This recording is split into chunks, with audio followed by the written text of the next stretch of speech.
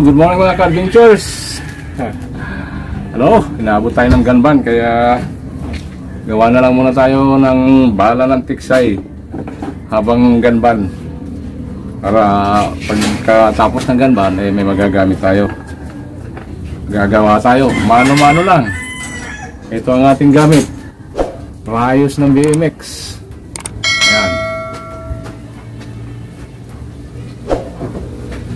muna natin tong ano locknut ng rayos ng BMX magpas na itong ano thread hahasain na natin ngayon ito ang pantutulis natin oh. Ayan. ito lang natin para makita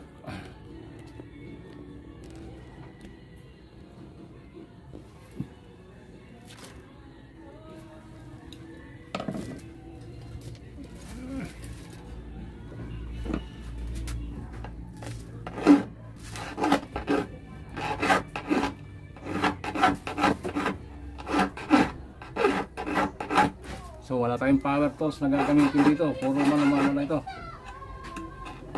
Wala dito yung aking grinder eh.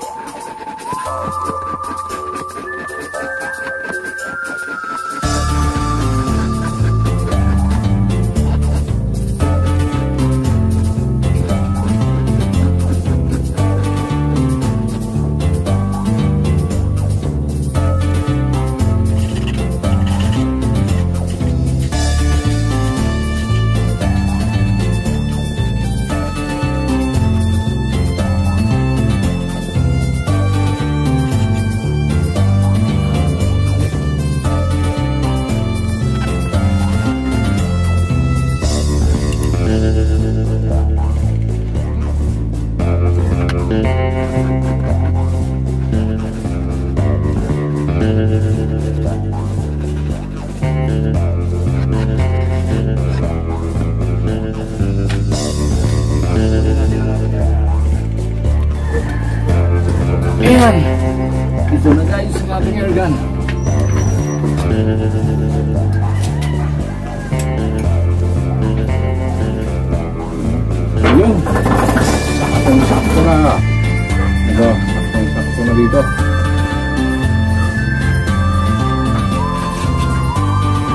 Okay.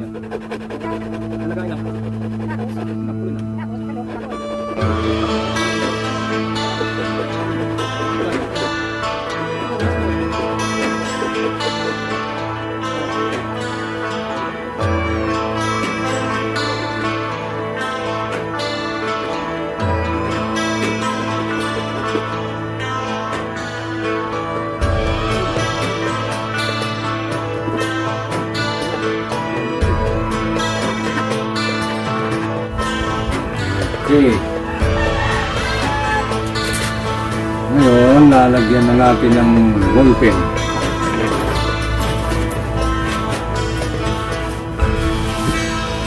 Ayan mga adventures.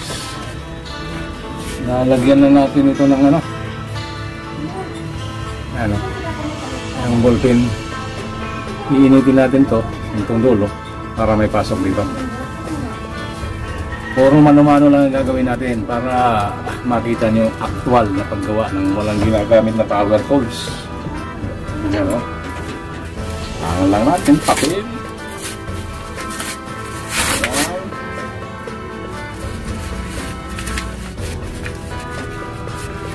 Tapos pang sindi.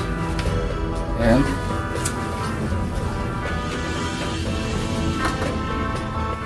Siyempre, mas maganda ito kung sakalan mo gagawin.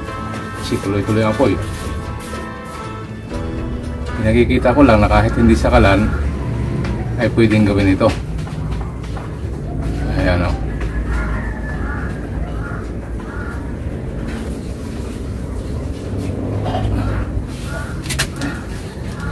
Ayan.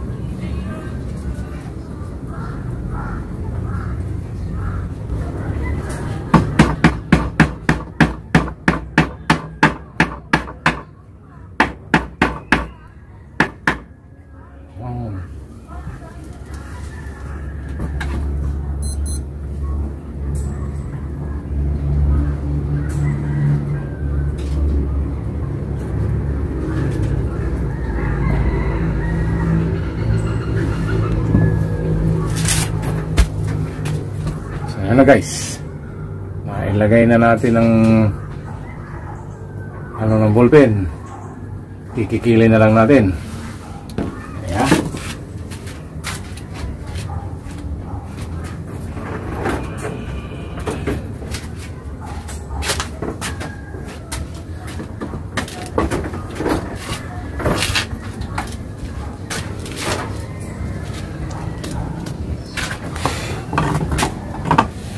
So, masyado siyang makapal. Ang gagawin natin ay uunti-untiin natin kikilin.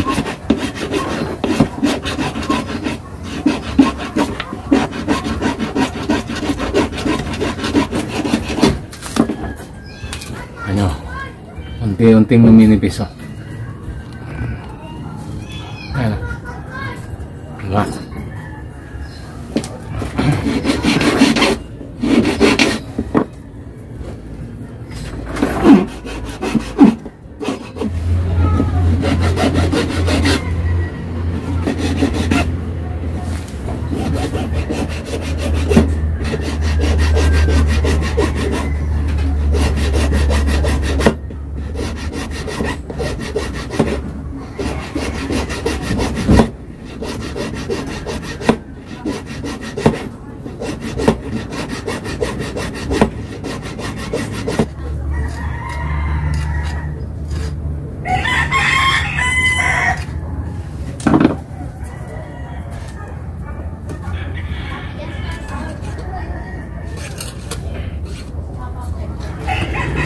Malaki pa. Malaki pa ang babawasin.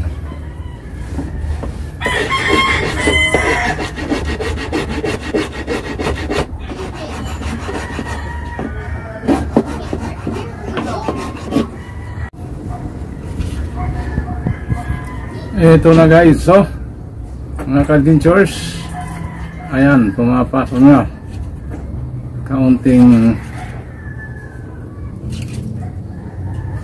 kaunting linis na lang. Hmm? kaunting kuskus na lang. Ayan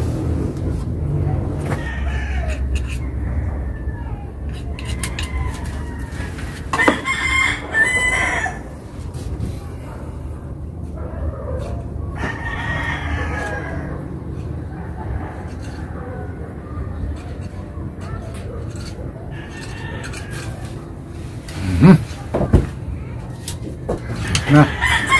Kaunting-kaunti na lang.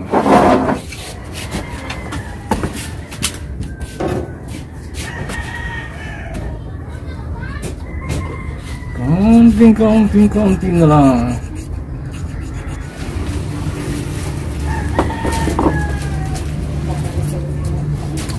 Ayan.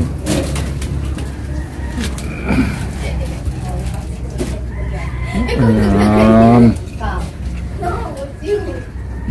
Okay na.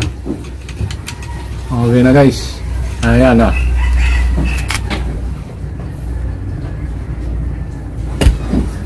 Sandangkal yan oh. Ang haba. Hmm. Sandangkal. Kaya gumagawa ko ng ganitong kahaba kasi yung maiksi Ayan mga adventures. Tapos na ang isang bala. Actually, pang-apat na ito na nagawa ko.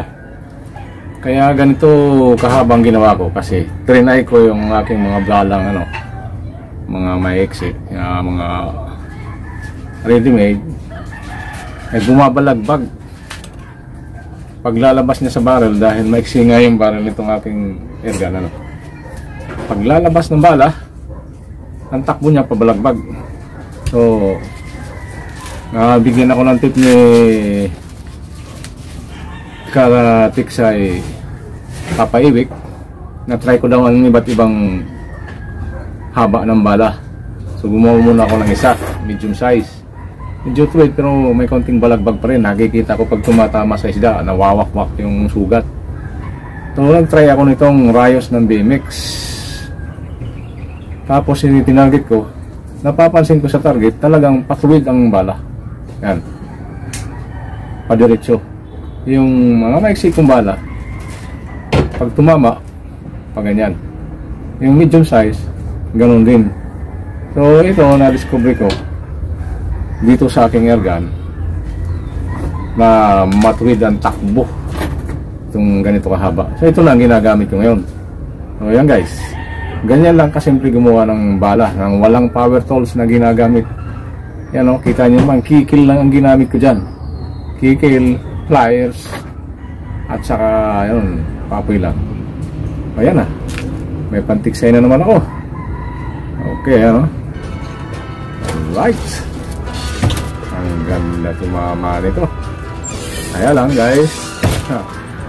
Mga katiksay hindi natin pala ito magagamit. Ha, alam nyo bakit?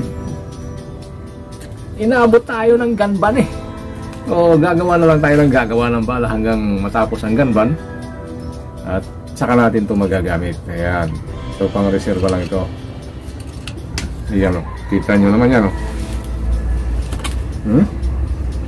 Hmm, pumapasok sa loob oh. Hmm. Yan o.